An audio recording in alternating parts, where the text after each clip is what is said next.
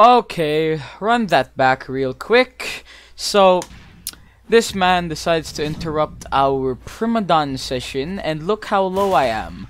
This man couldn't kill me when I was this low. Look how many times I hit him with the Enforcer Axe, by the way.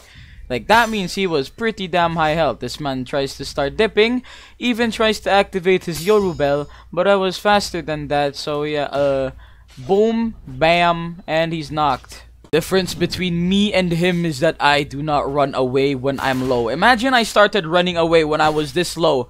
Imagine I was imagine I had the instinct to run away instead of continue to fight.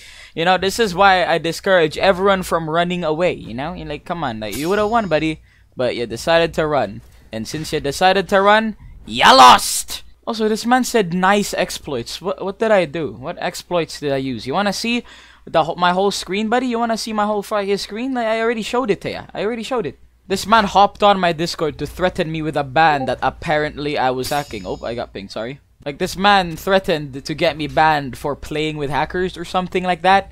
I asked him for proof. He said, nah, never mind. You'll see when you get banned. That's the kind of idiot this guy is. Uh, I asked him for proof, like, oh, I'm gonna get you banned, kid. Uh, can I see the proof for me to get banned so I have a chance to uh, defend myself? Uh, you'll see when you get banned. That's the that's the kind that that's the kind of people that does this. I say GG, he calls me out for quote unquote exploits. Look how low I was when the fight started, bruh. Look how low I was. Look how many times you allowed me to hit you with a force axe. One, two, and block that. Hit him with that. Three, four. Parried that, and then you uh, that that one. Parried that one. Five. Yup, yup, yup. Come on and then more. Parry that one, and then here's where he starts running away. Get lunge, no Yorubel, and he dies. Absolute bozo on God.